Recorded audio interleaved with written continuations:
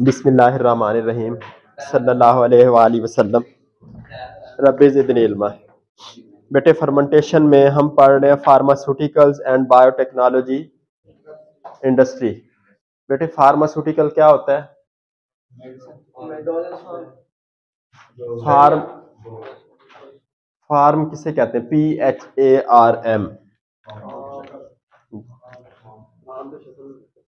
बेटे, वो एफ़ होता है। बेटे, इसका क्या मतलब है? बेटे, ये किसी ज़ुबान का वर्ड है, जिसका मतलब है?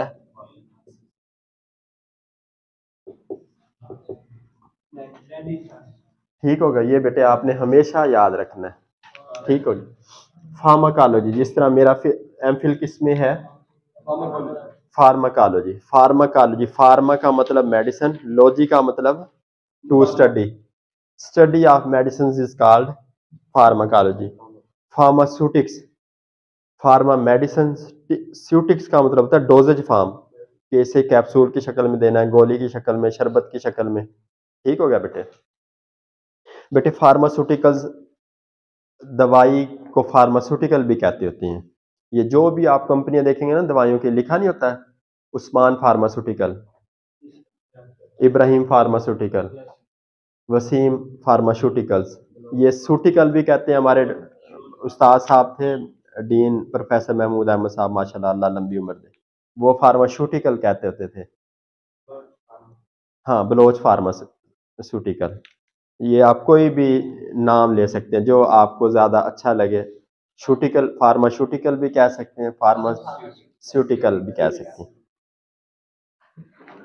There are five major groups of commercially important fermentation अब बेटे, उसने फाइव ग्रुप्स बताए कि मेडिसिन में और बायोटेक्नोलॉजी इंडस्ट्री बेटे बायोटेक्नोलॉजी इंडस्ट्री क्या होती है?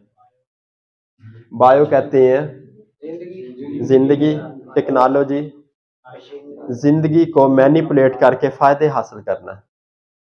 बेटे, अब एक बंदे के पेट में इस तरह की बीमारियों से कुछ भी हजम नहीं होता है। तो हमने कोई ऐसा जानवर ज़िबा कर, करके उसका हमने उसे मैदा खिलाया या मैदे का पानी डायरेक्ट हमने उसके मैदे में डाल दिया तो वो बंदा सही हो जाए। तो इसे क्या कहते हैं? बायोटेक्नोलॉजी ज़िंदा जानदारों का मुकम्मल तौर पे या उनके किसी हिस्से का इंसानी ज़िंदगी के बेहतरी या फ़ायदे के लिए इस्तेमाल बायोटेक्नोलॉजी कहलाता है। अब बेटे पाँच मेजर ग्रुप्स हैं। अब microbial cells are biomass as the product single cell protein bakers yeast lactobacillus E coli ये बेटे किसमें इस्तेमाल होते हैं? फर्मेंटेशन में। ये इसने बैक्टीरिया वगैरह के नाम बताए और बेटे माइक्रोबियल इंजाइम्स जिस तरह catalase amylase protease pectinase glu glucose isomerase cellulase hemicellulase lipase lactase streptokinase बेटे, ये इंजाइम्स हैं। किसमें इस्तेमाल होते हैं ये? फर्मेंटेशन में। बेटे माइक्रोबियल मेटाबोलाइट्स मेटाबोलाइट बेटे, किसे कहते हैं? किसी भी चीज़ के जो हिस्से होते हैं, उसको मेटाबोलाइट कहते हैं। जो मेटाबॉलिज्म होता है, हमारे जिसम में तोड़ तोड़ और जोड़ का जो अमल चल रहा है। तोड़ना कहते हैं, बड़ी चीज़ छोटी में बदल जाए और जोड़ना छोटी चीज़ जोड़ के बड़ी में बन जाए तो बेटे ये इसको ओवरऑल मेटाबॉलिज्म कहते हैं। मेटाबॉलिज्म की आगे दो किस्में हैं। एनाबोलिज्म में छोटी चीज़ें मिलके बड़ी और कैटाबोलिज्म में बड़ी चीज़ें टूट के छोटी चीज़ें। अब बेटे माइक्रोबियल मेटाबोलाइट्स प्राइमरी मेटाबोलाइट्स होते हैं और आफ्ताब कौन से मेटाबोलाइट्स होते हैं?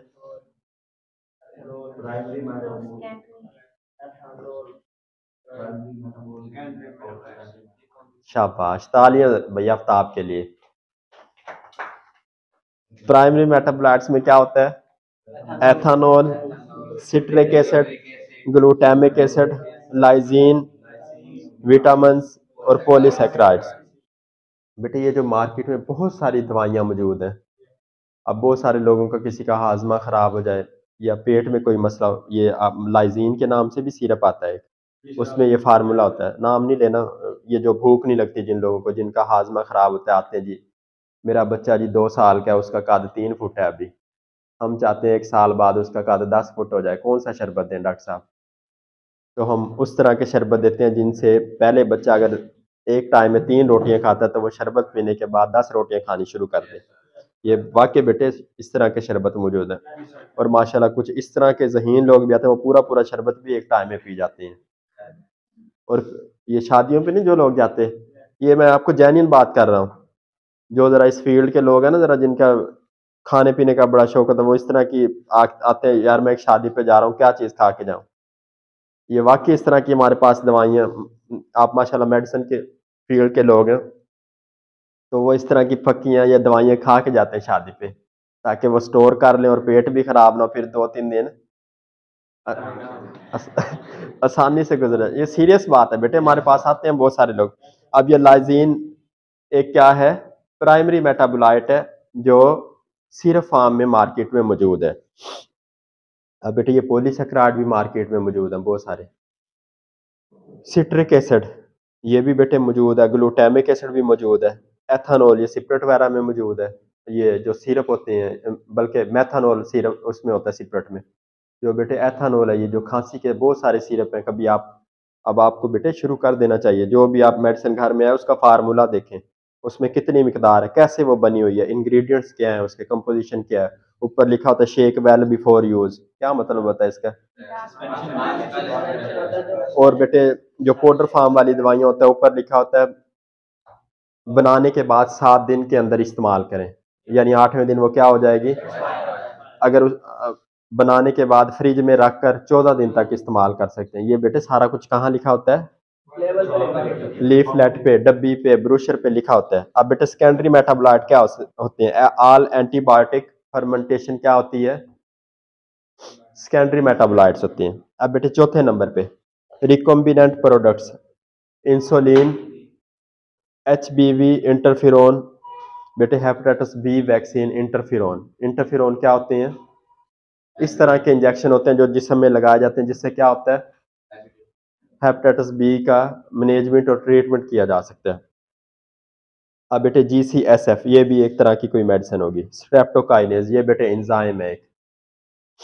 अब बेटे पाँचवें नंबर पे bio transformation phenyl acetyl carbinol steroid biotransformation etcetera इन तमाम में फर्मेंटेशन का प्रोसेस कहीं ना कहीं इन्वॉल्व है। बेटे, आज का हमारा